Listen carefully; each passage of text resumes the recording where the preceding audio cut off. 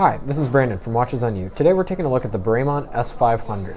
But before I take a look at this watch, I want to remind you that I currently have a Kickstarter campaign running, I'll leave a link in the description, uh, for a watch that I created. So this is a $149 Meca Quartz chronograph. So you get the accuracy and affordability of a quartz movement, but the feel and look of a mechanical movement. What I mean by that is, as you can see, I hit the top pusher, and it's got this beautiful, smooth seconds hand running around the dial and you can when you stop the chronograph and reset it, it flies back just like a mechanical movement.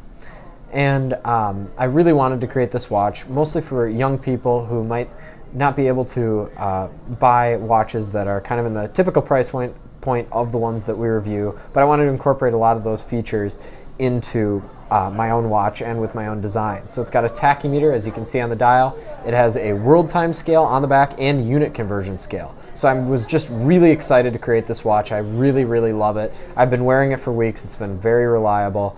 Um, it's just been fantastic, and definitely check out the link in the description to this piece. But now, without further ado, let's get into the kind of main feature of this video, and that's the Bremont S500. So we're here at Continental Diamond in St. Louis Park taking a look at this watch. They're an authorized retailer of Bremont and many other luxury watch brands, but they're actually a new authorized retailer of Bremont, and I'm really excited that we've been given the opportunity to review these watches here because we had not previously seen many at all in Minnesota. We had only reviewed one, I think, on the channel uh, before, probably two weeks ago. And um, I'm really excited to get more of their interesting and complicated pieces to review. So as I said, this is the Bremont S500, and it's called the 500 because it's got a 500 meter water resistance. So this is a pretty serious diver. They do have divers up to 2,000 meters water resistant, um, but this is a little bit smaller than that. It's 43 millimeters in diameter. Uh, it's a little bit less beefy is what I mean by that. Um, and I, I, really like this piece. It's very elegant, but very sporty. Everything Bremont has made and that I've been seeing has just been absolutely uh, fantastic in terms of its build quality. Um, the retail price of this watch, I just want to mention, is $4,695. And I mean, it's a very good value for money with the quality that you're getting on this case. I mean, the brushing is absolutely tremendous. Um, and uh, in terms of the movement, that's the only real drawback of this piece is that it does not have a 100% in-house, but it has a modified ETA movement. And I've personally seen the finishing that Bremont uses on their movements, and it is pretty much second to none in the ETA game. I mean, they're really fantastic. I would say they're definitely a cut above even Breitling. Um, they're just, it's just great.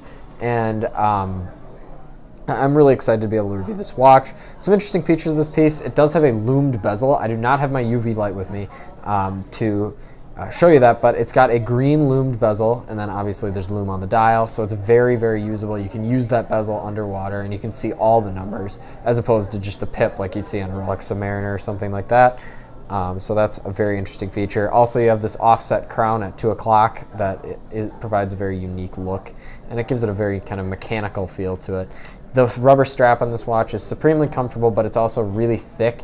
It's thicker than the ones seen on the new Omega Seamasters, so uh, which I do think are a little bit too thin in my opinion. Um, I'm a great fan of that watch. I have an Omega Seamaster, not the newest one, but um, I'm familiar with the line uh, intimately. So I, I, really, I just think that the uh, rubber that they use is a little bit too thin. This is much thicker, much more like Breitling, uh, where it feels a little bit more tough.